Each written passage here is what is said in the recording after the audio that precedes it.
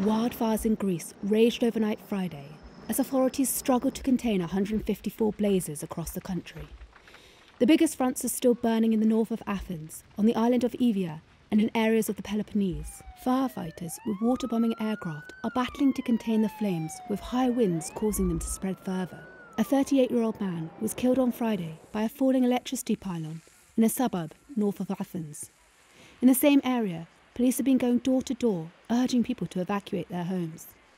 The fires have already torn through thousands of acres of land, burning houses, destroying businesses, and killing animals. Volunteers with an animal rescue organisation in the capital have been trying to rescue abandoned horses and dogs. This lady, who did not wish to be named, told Reuters eight dogs were locked inside the centre.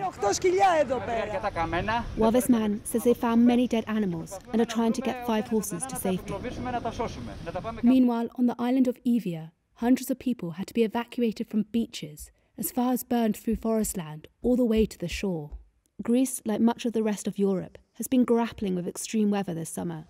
In neighbouring Turkey, authorities are battling the country's worst ever wildfires.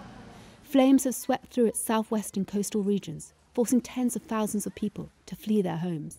In Italy, hot winds fanned flames on the island of Sicily this week.